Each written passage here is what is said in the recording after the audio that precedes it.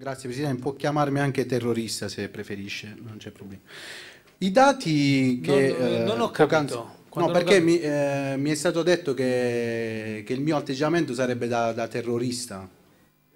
Lei ha espresso opinioni. Per quello, no, diciamo, detto, potete anche ha espresso opinioni, ha espresso posizioni, l'ha espresso il collega Galante come l'ha espresso il collega Rosa, Sì, esprimono no, tutti. quindi volevo dire che non mi offendo, se mi no. si chiama terrorista... non Prego, collega. Perrino.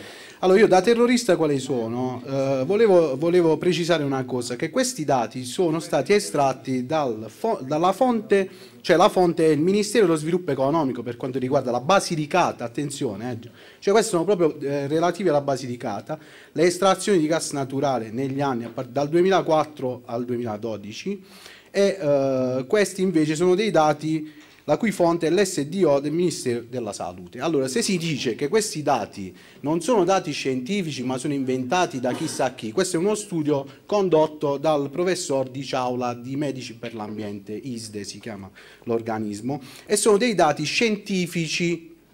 Se mi si dice che non sono scientifici, me lo si deve dimostrare a questo punto. Mi si deve dire, guarda, tu hai taroccato i dati, hai preso dei dati falsi e sei venuto qui a dire che c'è un indice di correlazione tra l'aumento delle estrazioni e l'aumento delle patologie tumorali. Sarò ben lieto di ammettere di aver sbagliato.